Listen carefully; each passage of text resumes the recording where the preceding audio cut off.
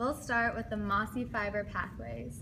This includes the anterior, posterior, cuneo-cerebellar, and rostral spinocerebellar pathways.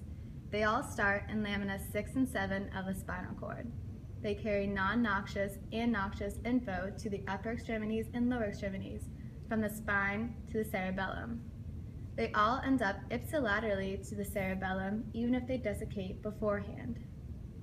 Mossy fibers also include the pontocerebellar, reticulocerebellar, and the hypothalamocerebellar pathways, which are all afferent.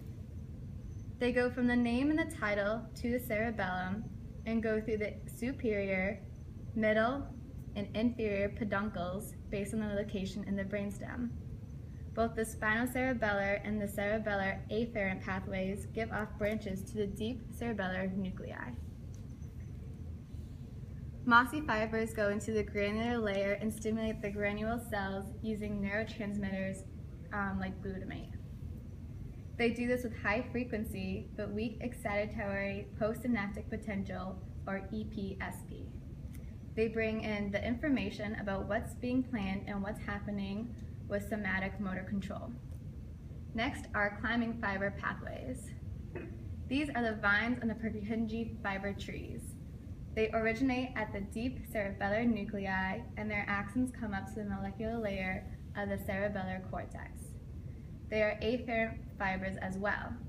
The only pathway that is a climbing fiber is the olivocerebellar pathway, which comes from the inferior olivary nucleus to the cerebellar cortex and gives off a branch to the deep nuclei as well. They use the neurotransmitter glutamate to give off a powerful excitation to the Purkinje fibers. They only fire when immediate danger is required. Next is the granule cells with the parallel fibers.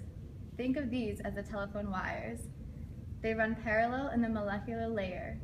The granule cells have their cell bodies in the granule layer of the cerebral cortex, I mean cerebellar cortex, and their axons go up to the molecular layer, where they split and become horizontal to form parallel fibers. They are an excitatory neuron that uses glutamate, but is weak to the Purkinje cells, which are inhibitory. This means that it requires multiple action potentials to break the threshold. Lastly is the Purkinje cells. They are in the main efferent neurons from the cortex of the cerebellum to the deep cerebellar nuclei. They have a huge dendritic trees in the molecular layer which is acted on by parallel fibers and climbing fibers.